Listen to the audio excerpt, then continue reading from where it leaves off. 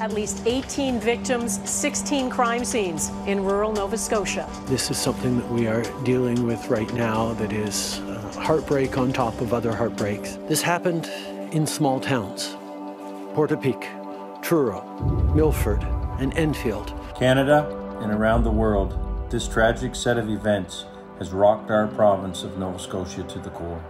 No words can describe the sense of loss felt by families, neighbors, and citizens of our eastern shores of the country.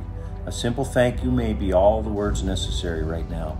My name is Steve Dykeman, and I'm the president of the Maritime Junior Hockey League. The recent tragedy in Nova Scotia is one our country will never forget.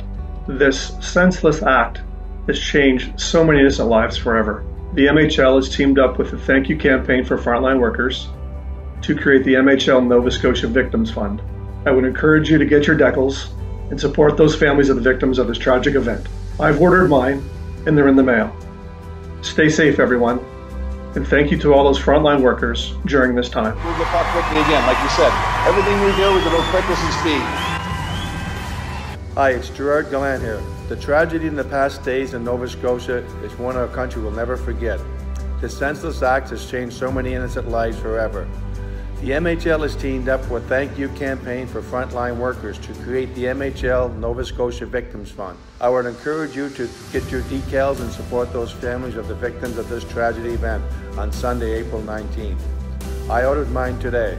In support, stay safe everyone, and thank you to all those frontline workers during this time.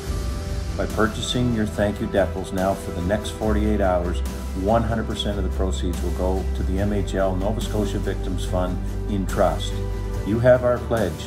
We will see that the families and the survivors of this tragedy receive a donation to help them carry on.